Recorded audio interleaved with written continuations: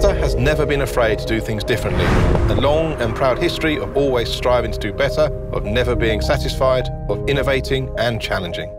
Whether it's bringing the rotary engine to the mass market or the development of Skyactiv technologies, Mazda likes to drive its own road.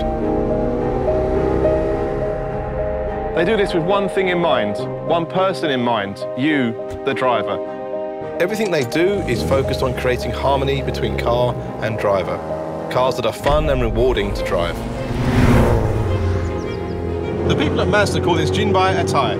This means horse and rider as one. Born in Hiroshima in 1920, Mazda's first vehicle was a charismatic three-wheeler, the Mazda Go. By 1960, Mazda had developed their first proper car, the two-door R360 Coupe, followed soon after by the four-door Mazda Carol in 1962. Which brings us to the much lauded arrival of this beauty, the Cosmo Sport in 1967. A flagship two-seater sports car with distinctive sleek styling, it was the first production Mazda to feature a rotary engine and with a top speed of 115 miles per hour was a very fast car for its time. Mazda broke with convention by committing to rotary power. Small, lightweight and high revving, the Cosmo was always going to attract attention. The arrival of the RX-7 in 1978 enhanced Mazda's reputation further for producing distinctive, well-engineered cars. But even Mazda wasn't quite prepared for what was to come in 1989, the arrival of the MX-5.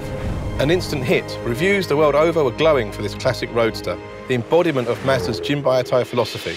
A World Car of the Year award and World Car Design award followed, as did production of the millionth car, making the little MX-5 the world's best-selling two-seater sports car. 1991 saw Mazda attempt the famous Le Mans 24-hour race with their iconic 787B. An historic and unforgettable victory was the result, becoming the first and so far only Japanese manufacturer to win the Le Mans 24-hour race, and uniquely rotary powered, of course. Mazda believes fun to drive should never die.